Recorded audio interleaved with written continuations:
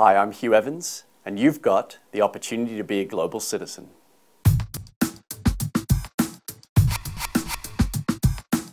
Two years ago, I arrived in New York City, and the day I arrived here, I met a guy by the name of Ryan Gall, who shared with me his idea of running a huge concert here in New York to put issues of global poverty on the map.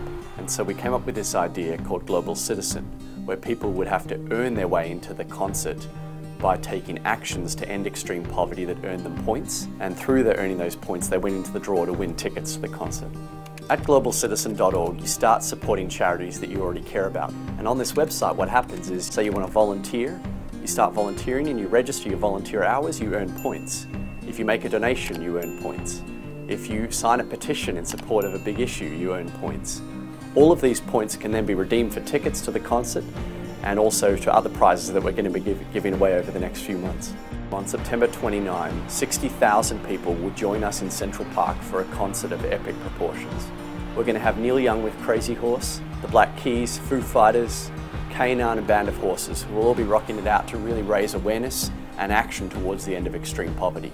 And we're not after your money, we want your action. So we want people to take action in support of the world's poor and be global citizens. If you can't make this global festival, you can tune in to AOL.com and watch the live stream wherever you are in the world and be part of the action.